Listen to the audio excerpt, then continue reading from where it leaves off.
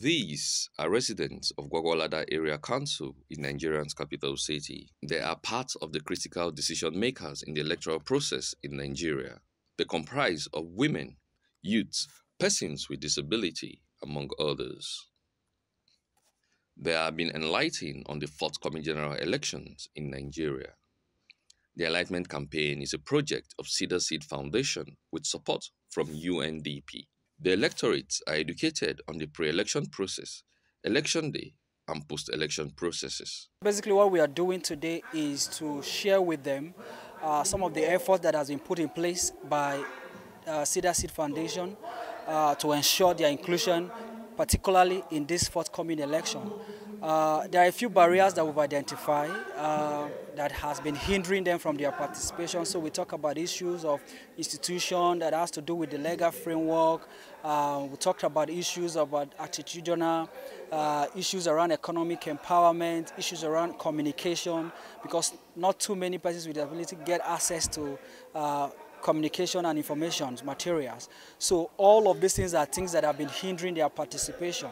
I could give you a very clear example. Uh, for somebody who is visually impaired, how do you want the person to be able to know which candidates to vote for on election day? For the person who um, has uh, hearing challenge, what it means is that he or she would need somebody to interpret to the person on election day. So these are some of the issues that we have identified as an organization and then we have made recommendation to relevant authorities and we are here to also inform them that some of these challenges has been addressed. Youth has the highest number of voters. Youth has the, the highest uh, population in the country. In the country of 216 million as we estimated or forecast, youth has the highest number. As the last registration from according to the INEC, let us to understand that uh, uh youth has about 75, 78.8% registered voter. So that is why they are very, very important. Some of the residents say the Enlightenment campaign would not have come at a better time than now, as the 2023 general elections are approaching. They also expressed concern on the dangers of vote buying.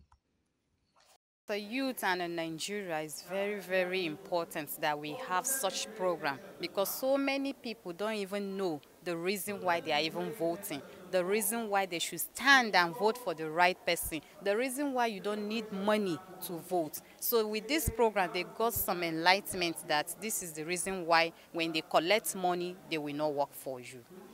For these past three days, we've gone, we've got a lot how to vote our leaders, the credible leaders we like to vote how to vote whoever we want and not to take bribe from any leader. For instance, now you take 2,000 naira from any leader, at the end of the day you suffer more than 2,000 naira. Our children will suffer it, but thank God for this program today. We've learned a lot and how to go about it. Thank you. It has given us more enlightenment on how to attend to the voting units and without having selling our future, that is collecting money, 5,000, 10,000, which may bring a ruin to our future, to our children, and which we don't want this season around. The Enlightenment Campaign is tagged Project Disability Inclusion on Electoral Process, which is a UNDP-funded intervention on electoral process in Nigeria. Emmanuel Unu, News 24.